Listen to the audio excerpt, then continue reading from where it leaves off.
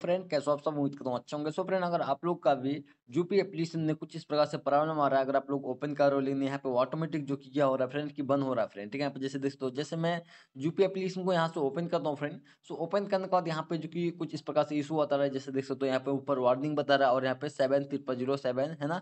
Auto click tools यहाँ पे disable यहाँ पे कुछ प्लीज़ यहाँ पे बता रहा है फ्रेंड ठीक है? तो आखिर ये प्रॉब्लम क्यों आ रहा है और इसका क्या सोल्यूशन है, किस प्रकार सबको इसको ठीक करना है सॉल्व करना है प्रॉब्लम आज का वीडियो में आपको lab proof step by step solve करके बताने बोला तो वीडियो बहुत ज़बरदस्त होने वाला है, बने वीडियो में लेकर तक। जैसे मैं फिर से यहाँ पे यूपी एप्लीकेशन को ओपन कर लेता हूँ। तो ओपन करने के बाद सेम प्रोसेस आ रहा है यहाँ पे, जैसे देख सकते हो मतलब ये ओपन ही नहीं हो रहा है ऑटो क्लिक मतलब ऑटोमेटिक यहाँ पे बंद हो रहा है फ्रेंड ठीक है? तो ये प्रॉब्लम को आपको सॉल्व करने के लिए क्या करना पड़ेगा? सिंपल से आपको क्या करना है, वीडियो को स्टेप बाय स्टेप देखना है, एक भी थोड़ा सा भी स्किप नहीं करना है, वरना फिर आपका जो कि प्रॉब्लम है, वो सॉल्व नहीं हो पाएगा, ठीक है? तो आपको पूरा आज का वीडियो में आपको step by step lab proof जो कि प्रॉब्लम जो कि मैं आपको सॉल्व करके बताने वाला हूँ फ्रेंड ठीक है? तो सिंपल से क्या करना है आपको यहाँ से जैसे देख सकते हो, यहाँ से तो कोई फ़ायदा नहीं है क्योंकि जैसे इसको ओपन करें तो ऑटोमेटिक यहाँ पे बंद हो रहा है। तो आपने क्या करना फ्रेंड्स सिंपल से आपको क्या करना है, जो कि यूपी एप्लीकेशन को यहाँ से आपको जो कि क्या करना है, जैसे यहाँ पे ओके कर लेता हूँ, उसका दबा कर रखना है वन सेकंड के लिए।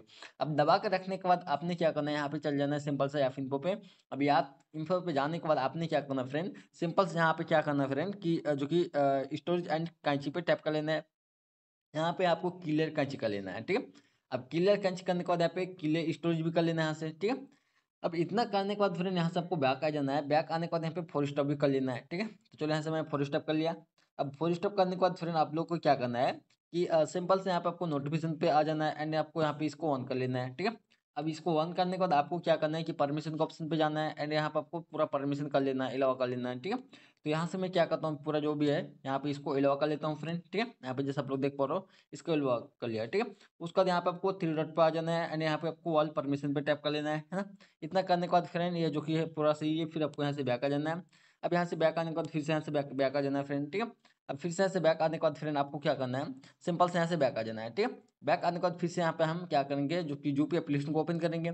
अब जैसे यहाँ पे मैं यूपी एप्लीकेशन को ओपन करता हूँ फ्रेंड एंड ओपन करने के बाद यहाँ पे थोड़ा वेट कर लेंगे, ठीक है? फिर यहाँ पे जैसे दोस्तों सी फिर वही जो कि ऑटो क्लिक कर यहाँ पे प्रॉब्लम बता रहा है, ठीक है?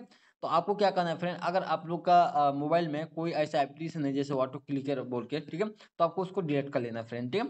तो यहाँ पे जैसे देख सकते हो कि मेरा जो कि एक एप्लीकेशन यहाँ पे शो हो रहा है, ठीक है? जो कि मैं कल परसों डाउनलोड किया था, जैसे देख सकते हो ऑटो क्लिकर है ना? तो इसको यहाँ से हम डिलीट कर लेंगे फ्रेंड तो इसको जैसे यहाँ से हम क्या करते हैं, इसको इस प्रकार से रिमूव कर लेते हैं यहाँ पे मतलब डिलीट कर लेते हैं फ्रेंड ठीक है? आप यहाँ से डिलीट कर सकते हो या फिर सेटिंग में जाके इसको बंद कर सकते हो, चाहे तो है ना? अगर आपका यहाँ पे ऑटो क्लिक है तो यहाँ से आपको डिलीट कर लेना है फ्रेंड ठीक है? तो यहाँ से हम क्या करते हैं, इसको सिंपल सा अनइंस्टॉल कर लेते हैं डिलीट कर लेते हैं। यहाँ से हम डिलीट कर लिए फ्रेंड अब यहाँ से डिलीट करने के बाद सिंपल से क्या करेंगे, फिर से जो कि जू जूपी एप्लीकेशन को ओपन कर लेंगे। अब जैसे यहाँ पे मैं जूपी एप्लीकेशन को ओपन कर लिया फ्रेंड अब जूपी एप्लीकेशन को ओपन करने के बाद यहाँ पे थोड़ा वेट कर लेंगे। सो थोड़ा वेट करने के बाद यहाँ पे आप लोग देख पा रहे हो फ्रेंड कि यहाँ पे कुछ इस प्रकार से इंटरफेस आ रहा है तो हम यहाँ पे अपना लैंग्वेज सेलेक्ट कर लेंगे, है ना? उसका यहाँ पे सिंपल सा मोबाइल नंबर डाल के, जो कि लॉगिन कर लेंगे, ठीक है? तो यहाँ पे मोबाइल नंबर डाल के सिंपल से यहाँ पे लॉगिन कर लिया जो एप्लीकेशन को। अब जैसे यहाँ पे लॉगिन कर लिया फ्रेंड तो आप लोग जैसे देख फ्रेंड कि यहाँ पे जो कि मेरा जूपे एप्लीकेशन यहाँ पे ओपन हो चुका है फ्रेंड ठीक है? यहाँ पे जैसे देख पा रहे प्रूफ जो कि जूपे एप्लीकेशन ओपन हो चुका है।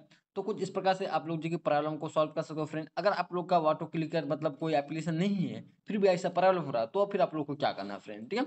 अगर आपको मान के चलो कि आपका एप्लीकेशन जो कि ऑटो क्लिकर वगैरह या फिर कोई एप्लीकेशन ऐसा नहीं है तो आपने क्या करना है? सिंपल सा जो कि जो मैं आपको बताऊँ पहले वो करना है आपका प्रॉब्लम हो जाएगा वरना आपको सिंपल से क्या करना है फ्रेंड कि आपको सेटिंग में जाने के बाद सिंपल से आपको सेटिंग में आ जाना है ठीक है?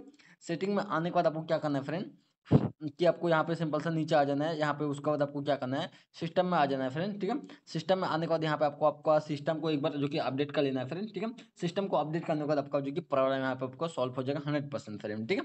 सो कैसा लगा फ्रेंड आज का वीडियो? अगर वीडियो थोड़ा सा अच्छा लगा तो वीडियो को लाइक कर लेना, चैनल नहीं हो तो सब्सक्राइब करके बेलाइकन को दबा देना फ्रेंड, क्योंकि इस चैनल आपको इसी तरह का इंटरेस्टिंग, हेल्पफुल वीडियो देखने के लिए मिलता रहता है और हमेशा मिलता रहेगा फ्रेंड, ठीक है? अगर आपका कोई भी इशू है तो आप लोग कमेंट में बता सकते हो फ्रेंड तो चलो मिलते हैं नेक्स्ट वीडियो में, आज के लिए इतना तो ओके टेक केयर।